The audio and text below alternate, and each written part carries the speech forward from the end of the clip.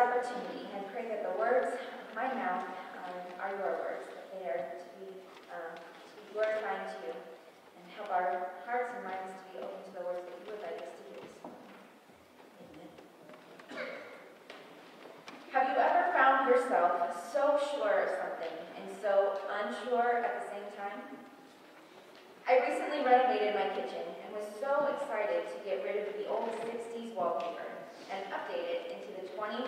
Century painted kitchen. My excitement quickly turned into uncertainty when the details of the project required a little more decision making than what I was prepared for. Maybe you have had that same experience, or at least something similar. As many of you know, this past summer I had the amazing opportunity to join a mission team heading to Kenya, Africa with a, with a ministry called Fishers of Men Ministries, whose administrative office is housed in the center. Just before going, I was blessed to share my testimony and the call that God placed on my heart to go ye into the world, as instructed in today's scripture. I shared that the Holy Spirit filled me with the nudges needed to proclaim, I want to go. As my friend and coworker shared about the upcoming mission she was asked to go on. I shared about God's perfect timing in, in paving the way, and I shared how sure-footed and excited I was that in a few short weeks I would be loading the plane for the longest flight I have ever taken to serve the people in West and East Kenya. You see, it was so easy for me to be sure of God's command to go when things seemed to line up just right. But my sure-footed, easy travel, easy to travel path turned a little bumpy when my friend and coworker, Penny Kallenberger, was no longer to go due to a serious illness. I was able to be so sure about going because Penny had been on this trip before and knew most of what we would be doing. So I didn't really need to worry about the details. I would just follow her lead. When I received Penny's call that she had not been cleared to go and that she would have to stay home, I was devastated. I was devastated for the pain that I knew she was in, the grief that we were experiencing, and the uncertainty that immediately consumed me. That was when the Lord spoke to me through Penny and said, You know, Megan, I think my purpose of saying I was going on this trip was to get you to Kenya. Wow, to get me to Kenya. There was a message that God needed me to carry. I was reminded that when we are unsure, that God is good. I would love to say that those words calmed my heart and mind, and that it, all the second guesses went away.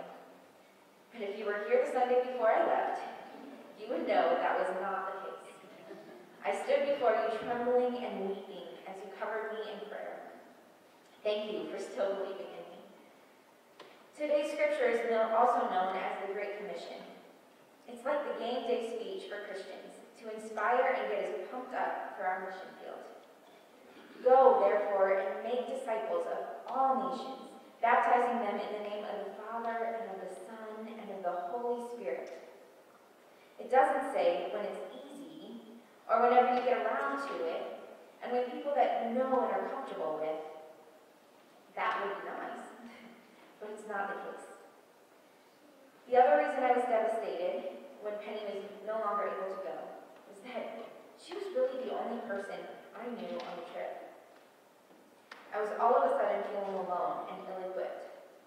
But God, God is faithful, and as we read on, it states, And behold, I am with you always, to the end of the ages. God calls and equips us, and is with us always. Travel, although the day later than expected, was long but smooth. God proved his faithfulness once again in his perfect timing. Conversations with our mission team of now three and other missionaries that we met on our flight revealed that God was very much in control, and that I just needed to be completely obedient and submit to his plans. Fishers of Men Ministries is an organization that reaches out to the poor and needy in West and East Kenya. through the establishment of schools and churches, as well as produce fields, livestock, and chicken. These establishments and projects have the ripple effect of providing education, better health and nourishment, jobs, housing, Christian fellowship, and discipleship training. As missionaries, we had the blessing of staying in the Fishers of Men cottages, where we were in community with the Fishers of Men staff. We were welcomed with open arms and told over and over again that we are family. The, the hospitality was overwhelming, and that began to melt away my hesitations and fears. For me, this was an amazing reminder of the bigger picture as the family of God. It didn't take long to settle into our roles, and I quickly gained the reputation of the kids and youth person. I even gained the award of the first trip inside joke. If Megan is getting tired, just put a kid in front of her. She'll wake right up. As I stated earlier, there was three of us on our mission, uh, three of us missionaries, other than the leader of our trip, Pastor Joshua.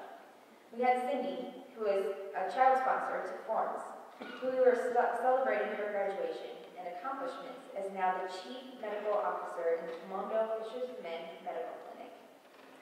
And will also be somewhat of a med- medical missionary visiting the villages where the other Fishers of Men school and churches are to provide treatment. She is a huge testimony to what opportunities child sponsorship can provide. Tom, representing the board, captured some great footage with a drone for the upcoming fundraisers. And by trade, Tom is an accountant, so he met with the new deacon of compliance to go through the paperwork and financial details of the ministry. And then there was me. I really didn't have much of an idea of where I was going to be filling or what exactly I was there to do. But I knew that God had called me on this trip to share his love with his people. This is where God taught me one of my favorite lessons in ministry to this day. The first school that we visited was in West Kenya. This was the Kimondo Victory Academy. The school was somewhat in the middle of nowhere and was sitting on land that Pastor Joshua informed us was nothing until the school was built. It was the theme that God built something out of nothing through the, the fishers, uh, the vision of Fishers of Men Ministries. This was also the reality of the close to 400 students that were given the opportunity to, to attend this school, as well as the 100 orphans that, were able to live there. Through child sponsorship, these kids and youth were able to go from a life of close to nothing and build their lives. Several of the teachers and Fishers of Men staff were sponsored students who now have the opportunity to be something. Upon arrival, we were welcomed with singing and class presentations. Talk about building something out of nothing. The joy that filled the air from their singing and dancing as they lifted praises and thanksgiving to God for the many blessings that they had been given. After these presentations, Pastor Joshua introduced our mission team. This is Cindy, and Cindy is Lauren's sponsor. This is Tom, and Tom serves on our ministry board. And this is Megan, and she is the children and youth person at the church where my office is. But then this next part was where God got me. And she is going to teach you and lead you to, and lead these. I looked around for another Megan because I was not prepared for this task. But all I seen was a whole bunch of students, leaders, teachers, and other staff members looking at me anxiously, anticipating the words that I was going to be saying. And so was I. I had no curriculum, no equipment, and yet Jesus states in the Great Commission, Therefore go and make disciples, teaching them to obey everything I have commanded you. And surely I am with you to the very end of the age. It was then that I truly felt on a much deeper level than ever before that God was with me and was fully equipping me with His words and His instructions. I was purely a vessel that had made the decision to go. After the large group message time, the students were released for free time. We played games such as soccer, volleyball, jump rope, and bubbles. Some students showed off their skills in the Kimondo Skate Church built by Penny and Justice a handful of years ago, with donated supplies and boards from this congregation. I also got to go around and learn some songs from the students. It was fun to share stories from my ministries here in Davenport with them through pictures and some of our kids' uh, Bible folk songs. I very much underestimated the amount of craft supplies to bring, but with one small group of about 40 kids, I was able to do a craft, making pipe cleaner bracelets, bending them to make a heart-shaped charm. As I placed the bracelet on each kiddo, I would put my hand on their head and state the words, Jesus loves you so very much, and so do I. Children are so precious, and as I put the last bracelet on one of the boys, he gave me a big hug and said, Jesus loves you. We then ended our time for the day by getting into a large circle that encompassed the entire fenced-in land around the school to pray.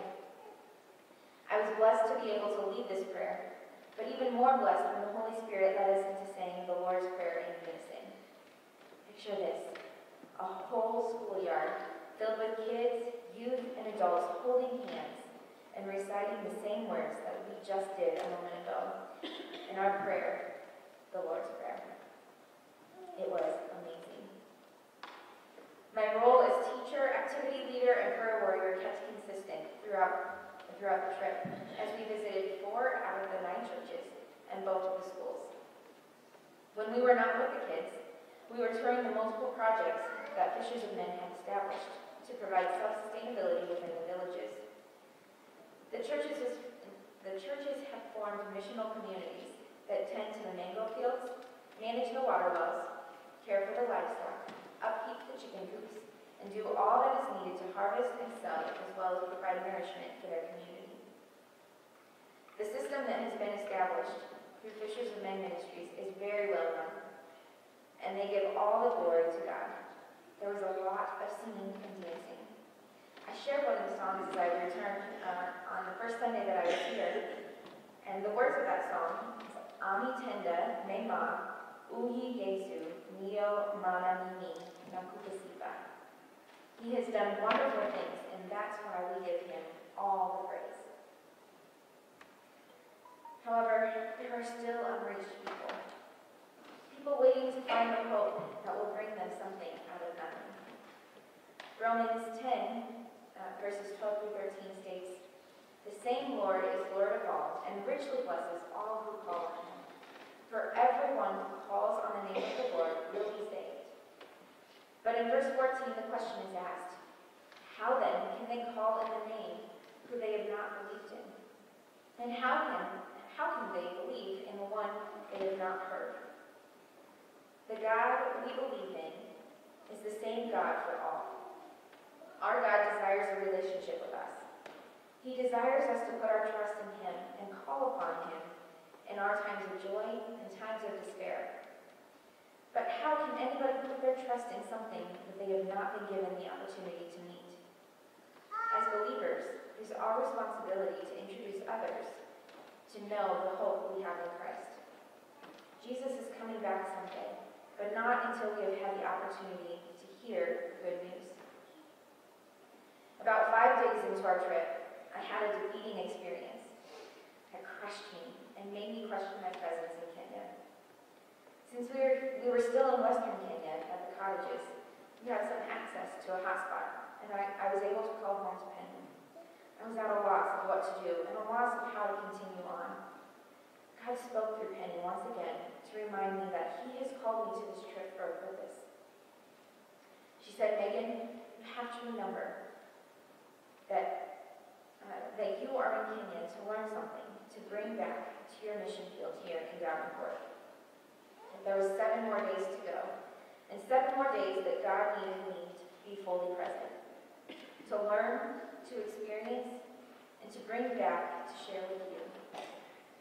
I was needed to teach, to lead activities, to make kids smile, to pray with those in physical and mental distress, learn from the teachers and leaders in the schools and churches, and encourage the parents attending the schools with their kids.